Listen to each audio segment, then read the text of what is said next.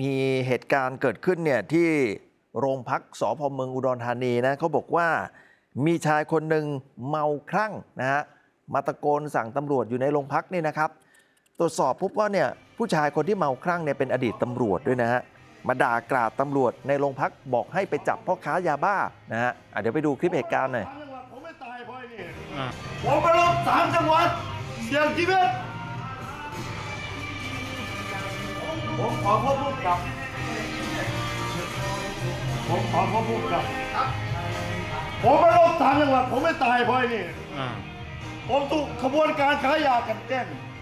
พวกคุณทำอะไรกันอยู่ ผมไม่ยอม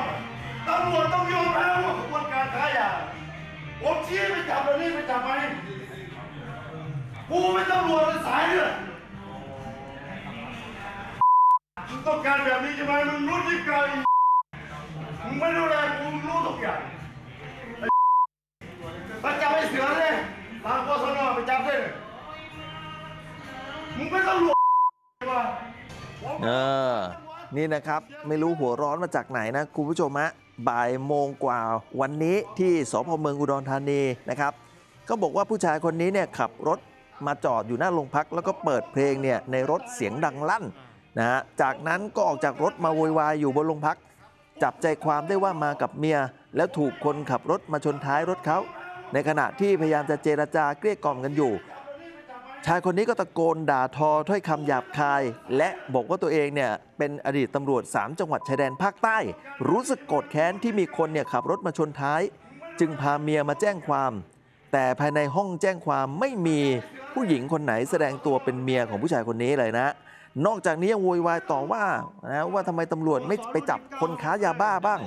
รู้ดีว่ามีใครบ้างที่ค้ายาเนี่ยผมเนี่ยบอกได้หมดนะฮะแล้วก็บอกว่าเนี่ยรู้จักกับตำรวจชุดสืบของสพเมืองอุดรธานี แต่เมื่อตำรวจชุดสืบมาพูดคุยด้วยก็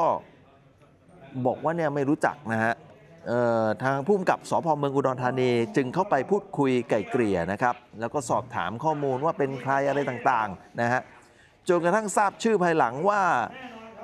เป็นตำรวจอดีตตำรวจฮะสิบตำรวจตรีอาณาตู้บุตรดาอายุ 51 ปีเอ่อไม่ทราบว่าเดิมเนี่ยเคยสังกัดอยู่ที่ไหนนะฮะตรวจค้นอยู่ในรถเป็นรถยนต์อีซูซูมิวเซเว่นนะครับ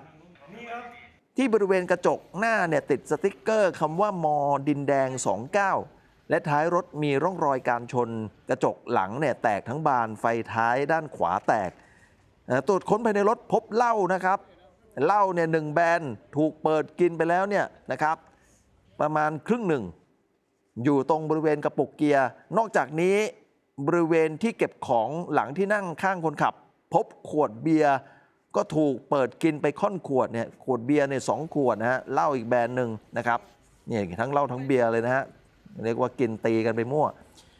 นี่นะฮะทีนี้อะไม่นี่ก็หนาซอพ่อมึงจากการสอบถาม10ตำรวจตรีอาณาบอกว่าเนี่ยตัวเองเนี่ยนะฮะเคยทะเลาะกับผู้บังคับบัญชา และเคยจะเอาปืนเนี่ยยิงกันมาแล้ว ตั้งแต่ตอนนั้นอยู่ตำแหน่งผบหมู่งานป้องกันและปราบปราม ที่สพทานโตจังหวัดยะลา และถูกให้ออกจากราชการเมื่อ 15 ปีที่แล้ว โอ้โหนี่อดีตมากเลยนะตำรวจ 15 ปีที่แล้วฮะโดนให้ออกจากราชการเนี่ยเคยจะเอาปืนยิงผู้บังคับบัญชาสิบตำรวจตรีอาณาอยู่ในอาการเมาเหล้าอย่างหนัก พูดจาให้การวกไปวนมานะครับ สุดท้ายก็อะเขาก็เอาไปอยู่ห้องสืบสวนก่อน ให้สงบสติอารมณ์ซะก่อน แล้วเดี๋ยวสอบปากคำอย่างละเอียดอีกครั้งหนึ่งนะครับ นี่นะฮะเดี๋ยระหว่างที่อยู่ในห้องสืบสวนได้มีตำรวจรุ่นเดียวกันเนี่ยเข้ามาร่วมพูดคุยด้วย นะฮะเขาก็ยืนยันว่าเขาเนี่ยเคยเป็นตำรวจนะฮะเออทีนี้คนที่มาคุยก็บอกอ๋อคนนี้ก็เป็นตำรวจจริงนั่นแหละ แต่ว่าเวลาเมาเนี่ยจะขี้โวยวายแล้วก็บางทีก็เมาแล้วขาดสติก็มีนะฮะนี่นะฮะเออดีนะไม่มีอาวงอาวุธอะไรมานะครับ